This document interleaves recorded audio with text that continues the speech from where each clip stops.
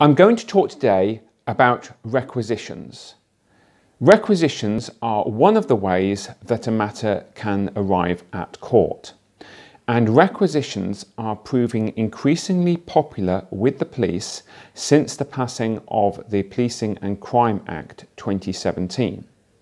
The reason for this is that with the passing of the Policing and Crime Act 2017, there has been a reduction in the number of matters that have been dealt with by way of arrest. And the reason for that is the 28 day bail limit imposed by the Policing and Crime Act 2017. Therefore, with a reduction in the number of arrests and an increase in the number of voluntary attendances at the police station for interview under caution, there has been a need to look at how matters are brought to court.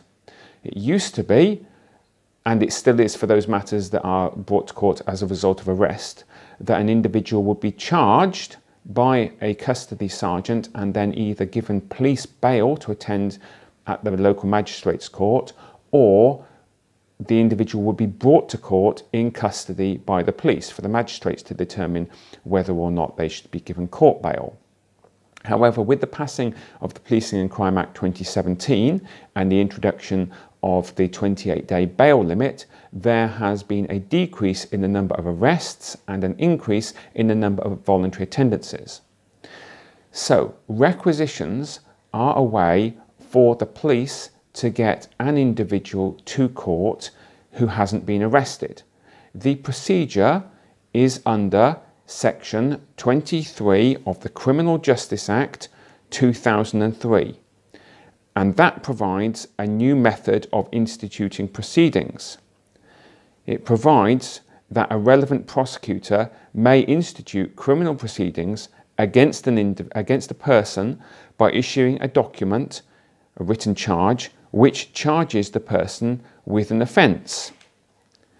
Now, in that section, a relevant person, relevant prosecutor, means a police force or a person authorised by a police force to institute criminal proceedings, or the director of the Serious Fraud Office or a person authorised by him to institute criminal proceedings, or the director of public prosecutions or a person authorised by him to institute criminal proceedings.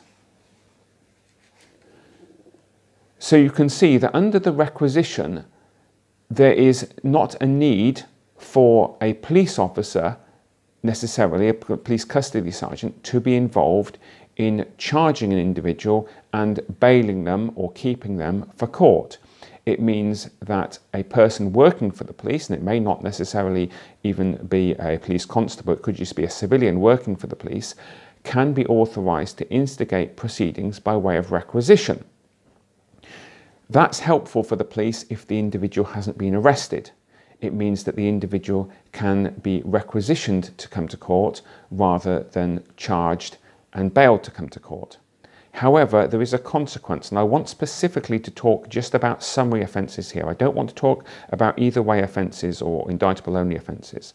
In connection with summary only offences that appear by way of requisition, it may be that under section 122 of the Magistrates Courts Act 1980, the defendant, the person receiving the requisition, may decide that it is better for them to send their lawyer in person rather than for them to appear in person.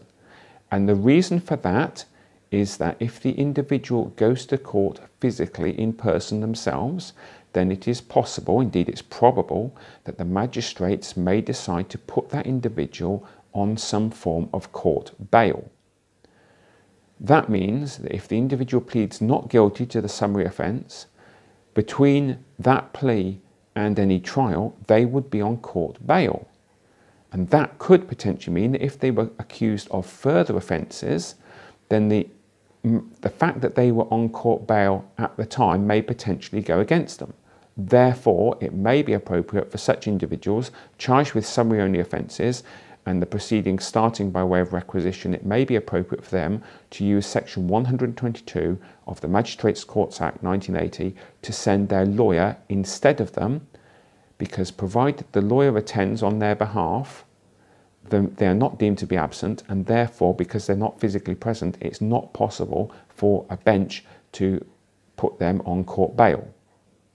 So, in summary, requisitions have increased as a result of the Policing and Crime Act 2017.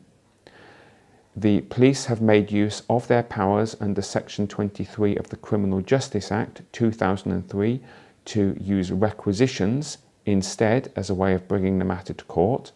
However, for defendants on summary only matters being brought to court by way of requisition, it may be appropriate for them to use Section 122 of the Magistrates Courts Act 1980 to send their lawyer instead of them attending physically in person.